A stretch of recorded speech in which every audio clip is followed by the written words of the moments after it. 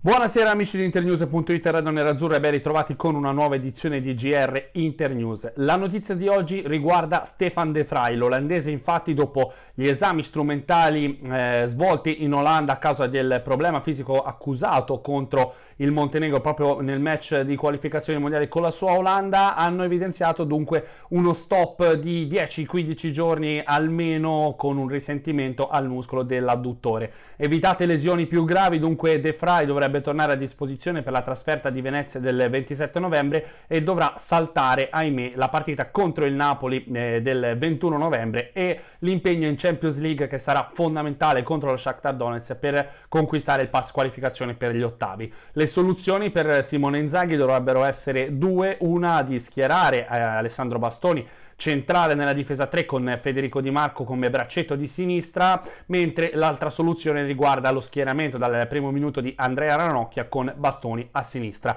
Lo stesso Bastoni aveva accusato un piccolo problema in nazionale, all'arme rientrato, il giocatore è già a Milano e si sta eh, allenando per eh, tornare in forma proprio contro il Napoli, così come Edin Dzeko che sta proseguendo nel suo percorso di recupero in vista del match contro i partenopei. Intanto stasera Barella dovrebbe scendere in campo nuovamente titolare mm, nell'Italia contro l'Irlanda del Nord nel match che vale la qualificazione al prossimo mondiale in Qatar nel 2022, dunque vedremo quale sarà il minutaggio del centrocampista nerazzurro. Nei prossimi giorni infine dovrebbe arrivare eh, a Milano il padre agente di Marcello Brozovic, si pensa nella giornata tra giovedì e venerdì per cominciare la discussione del rinnovo del contratto proprio del centrocampista croato con la dirigenza nerazzurra. Questa era la nostra ultima notizia di oggi, l'appuntamento è con l'edizione di domani di GR Internews. Grazie di essere stati con noi e buona serata a tutti.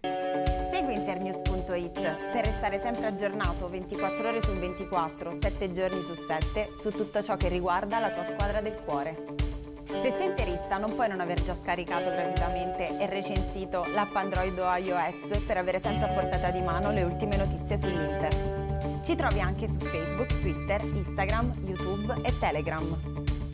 Se sei in cerca di approfondimenti ed esclusive a tinte nerazzurre, internews.it è quello che fa per te.